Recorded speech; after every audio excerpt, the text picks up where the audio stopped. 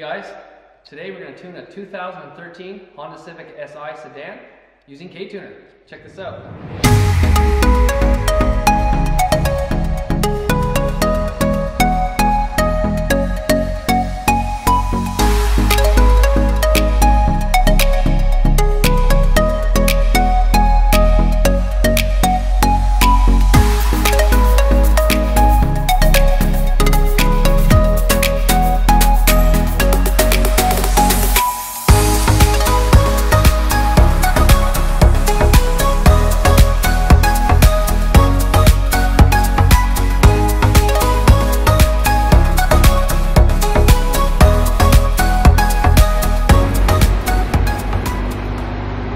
So what are you working on right now? So right now I'm just configuring the dyno to do a pull. Get my notes so I tell it stock run, old plugs, because we're going to change the spark plugs and see what we get. Okay.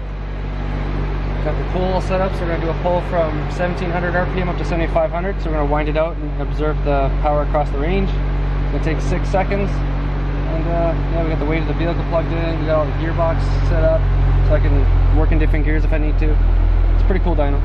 Sweet. Time for a pull!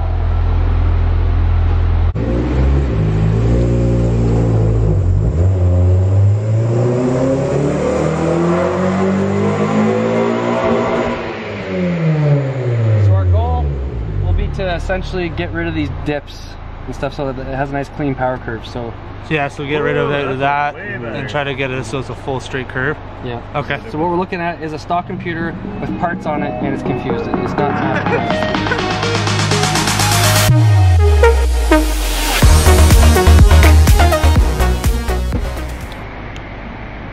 There we go. Now we're getting the power I'm talking about. Yep. Yeah, baby. There we go. Now we got 200 finally. Let's see, it changes. So I can drag the timeline back and forth. You can see where it was in the map at that time. If I look at the log, I can see what the air-fuel ratio was. So at this particular point in the table, it's actually per pretty much perfect. Probably go for 12.8, a little bit leaner, but that's pretty much good. Then it starts getting heavy. And that's probably why we're losing all our power up top. Because it's just dumping fuel in there. That's way too rich. Oh my god, you can run a turbo with that now. yeah.